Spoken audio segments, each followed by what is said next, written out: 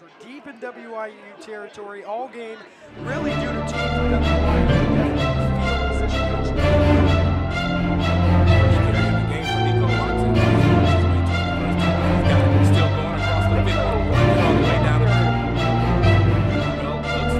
Myers, and it's complete for first down to.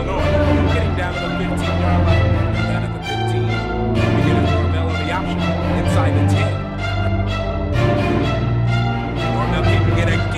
Gets into the end zone for the touchdown. I think the Coyotes might be more ready for it that time, not the carry discipline team.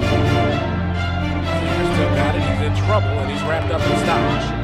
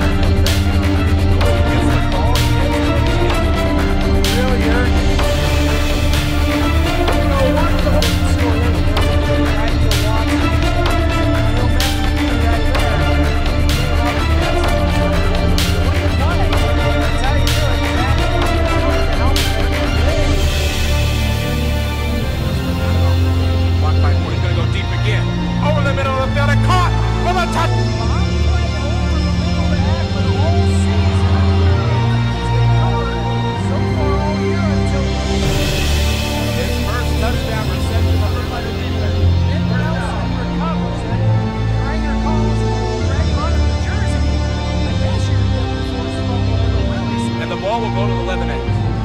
At the bottom of the pile was Nelson, and he jumped. They need a score, and they need a lot more than that. Here's Gunn, and he was immediately hit over the middle by Quinn.